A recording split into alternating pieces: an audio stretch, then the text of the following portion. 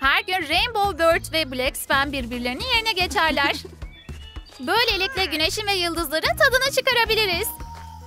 Lalilu size bunların hepsini gösterecek. Merhaba, ben Cera. Ben Rainbow Bird'üm. Farklı renkteki tür parçalarından bir elbise yapalım. Omuz ve bel kısmında bulunan birkaç elastik şerit doğru şekli oluşturacaktır. Bir adet şerit kemer bel kısmını dışarı çıkaracaktır. Ekstra kumaş yerine kabarık tüyleri omuzlara yapıştıralım. Tüyler bu Rainbow Bird'ün üzerinde uçuşuyor. Elbisesini daha iyi hale getirelim. Wow. Yapışkan bir katman uygulayalım ve elbiseye parıltılar serpiştirelim. Midilli'nin kanatlarını tüy ve parıltılı yapay elmaslarla süsleyelim. Kuşun özel ayakkabıları olmalıydı. Cera sihirli bir bahçenin üzerinde uçarken sabah çiğinin ve sihirli tozun damlalarına bastı. Artık ayakkabıları parlıyor. Bu kuş bir peri masalından geldi. Saçına parlak renkler ekleyelim. Bir saç tutamı, bir tane daha. Hadi hepsini kullanalım. Renkli postişler çok güzel. Saçı kelebeklerle süsleyelim. Artık hazır. Cera büyülü bir kuşa dönüştü. Rainbow Bird'ümüz evine döndü. Burası çok güzel, ferah ve her yerde tüyler var. Harika bir kıyafetim var. Ama bir şeyler eksik. Hmm. Hangisini seçmeliyim? Hepsi çok güzel görünüyor. Belki bu. Veya bu. Biliyorum. Mor olanı seçeceğim. Kimsenin böyle kanatları olmayacak. Black Swan Kera'mız için farklı bir kıyafet yapalım. İlk olarak altın bir elbise. Siyah tülü bu şekilde sıkılaştıralım. Ve artık Kera'nın bir bale eteği var. Kesimi dantelle süsleyelim. Boynuna zarif tüylü bir gerdanlık ekleyelim. Keselim. Aynı aksesuarı kollar için de yapalım. Black Swan'e yüksek çizmeler ve ince şoraplar giydirelim. Midilli kanatlarını siyaha boyayalım. Büyük tüylerle süsleyelim. Kereye çok yakışıyorlar. Kenarlarını altın rengine boyayalım. Saçın etrafına bir kurdele bağlayalım. Bu kara kuş eski bir ormanın derinliklerinde yaşıyor. Onu her zaman evinde bulamazsınız. Kera her şeyi sessiz olmasını ister ve yalnızca şefkatli kibar yaratıkların ses çıkarmasına müsaade eder. Ama sadece sessiz olduğu sürece. Örümcekler neredeyse hiç ses çıkarmaz. Bu yüzden onları çok seviyor. Black Swan'in olduğu her yerde dirlik ve düzenlik olur. Sarı köpük kağıttan bir daire keselim. Çok sayıda kürdana ihtiyacımız olacak. Onları bu şekilde koyalım ve keselim. Şimdi nakış ipliğinden bir sepet yapabiliriz. Silikon sürelim ve kenarlarına yıldızlar serpelim. Bir tutucağın tutulması kolaydır. Ne kadar güzel. Bir kelebek hemen içeri girdi. Çiçeklerin kokusunu almış olmalı. Rainbow Bird tıpkı bunun gibi bir sepet hayal ediyordu. Cera ormanda dolaşıyor ve her yere çiçek dikmek için çiçek topluyor. Çalıların arkasında saklanan bir tavşan var. Çok sevimli. Ah, bu çiçek tomurcuğu harika. Küçük geyiğin de ilgiye ihtiyacı var. Bu yüzden Rainbow Bird onu sevmeye başladı. Ormandaki herkes Cera'yı seviyor. Tavşan ona çiçek bile getirdi. Teşekkürler ufaklık. Sepetimi süsleyecek.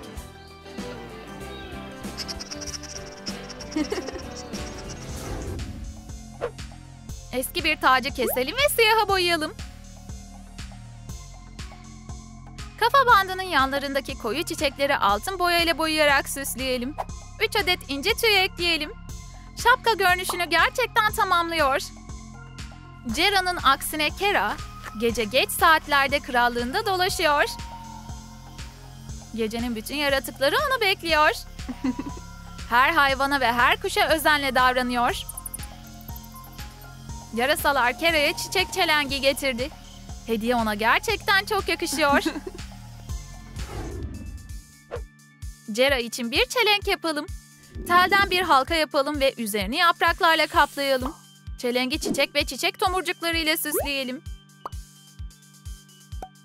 Renkli ve zarif bir aksesuar yaptık. Rainbow Bird çiçeklerle dolu bir sepetle ormanda dolaşıyordu. Burası çok güzel ve hayvanlar çok tatlı. Cera bir kütüğe oturdu ve kendisi için bir çelenk yaptı. Şimdi çiçekler nereye gidersem gideyim her zaman benimle birlikte. Fenerin kenarlarını yapmak için gri köpük kağıttan parçalar keselim. Sonra kapak detaylarını ekleyelim. Bir alt zemin ekleyelim. İçerisinde led ışık olacak. Ve feneri bu halkayla taşıyabilirsiniz. Koyu renklere boyayalım ve bakır gibi görünmesi için vurgular ekleyelim. Black Swan geceleri görmek ve yerel halkı korkutmamak için yolunu fenerle aydınlatır. Kera karanlık ormanda yürüyor ve sessizliğin tadına çıkarıyor. Eski bir oyuncak Hu, güzel bir ateş kuşuna dönüşebilir. Eğri gagasıyla beraber yeni bir kafa şekillendirmek için modelleme kili kullanalım. Kabarık bir kuyruk ekleyelim ve biraz doku verelim. Bir ateş kuşunun altın gibi parlaması gerekir. Gözlerine sahte kirpikler çizelim. Ve muhteşem bir altın kuyruk ekleyelim. Kuş kanatlarını ve tüylerini açtı. Güneş onun üzerinde parlamadığında bile ateş kuşu parıldayabiliyor. Gerçekten efsanevi bir anka kuşu mu? Cera bununla yüzyıllardır ilgileniyor. Rainbow Bird ormanda sabah yürüyüşü sırasında anka kuşunu asla unutmaz. Buluşmaları bir rutine dönüştü. Cera ateş kuşunu altın tozuyla besler. Ve minnettar anka kuşu ona güzel bir şarkıyla karşılık veriyor. Pompondan bir baykuş kafası yapalım. Oyuncak gözler ekleyelim. Kürdanla vücuda tutturalım. Tüylerden kanatlar yapalım. Kaşları da yapalım. Ve bir gaga. Pençe de yapmamız gerekiyor. Baykuş onları avlamak için kullanabilir. Vücudu tüylerle örtelim. Artık kuş ormana dönebilir. Ve baykuş geceleri avlanır. O ve Black Swan birbirlerinden ayrılamaz. Baykuş sahibi için yol gösterici bir yıldız gibidir. O bir uğur, bir tılsım ve bir bilgeliğin sembolüdür. Büyük bir halkayı sprey boyayla kaplayalım. Bir dantel şerit ekleyelim. Halkayı bir kurdele ve bir dizi boncukla süsleyelim. Salıncağı sabit bir dala asalım. Halkanın içinde yumuşak çimenler ve açan büyük çiçekler vardır. Cera böyle bir salıncağa bayılacak. Rainbow Bird'ümüz ormanda yürüdükten sonra yoruldu. Kalın ağaçların arasında ayaklarının üzerinde yürümek zorundasın sen. İnanamıyorum. Bir salıncak. Çok zarif ve güzel. Ve her tarafı çiçeklerle kaplı. Artık burası benim dinlenme yerim. Böyle hareketli bir kuşun bile bazen dinlenmeye ihtiyacı vardır. bir kuş kafesi yapalım. Plastik köpükten yuvarlak bir taban keselim. Ve tel, dallar için bir çerçeve olacaktır. Tabanı ve dalları siyaha boyayalım. Üst kısmı bakır akrilik boyayla vurgulayalım. Kafesi metal bir halkaya asalım. Ve alt kısmını altın yıldızlarla kaplayalım. Alaca karanlık bitip şafak başladığında güneş doğmaya başlar.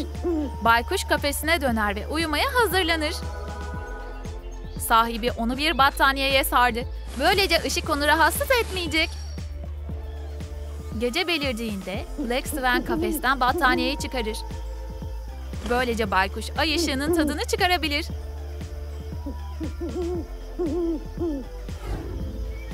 İki kuş birbirlerini sadece gece belirdiğinde ve gün bittiğinde görür. Her birinin özel bir rolü vardır. Rainbow Bird güzelliği ve şarkı söylemesiyle herkesi mutlu eder. Bu dünyayı daha güzel ve daha parlak hale getirir. Kera kuş yeterince sessiz ve huzurlu olmayı sağlar ve herkesin hayallerini saklar. Her yerde eşitlik olmalı. Gece ve gündüz, aydınlık ve karanlık, kaos ve düzen. Cera ve Kera bunun çaresine bakacak. Hangi kuşa sahip olmak isterdiniz? Bir anka kuşu mu yoksa bir baykuş mu? Yorumlara yazın. Videomuzu beğenmeyi ve Lalilu'ya abone olmayı unutmayın. En iyi oyuncak bebek fikirleri bizim kanalımızda.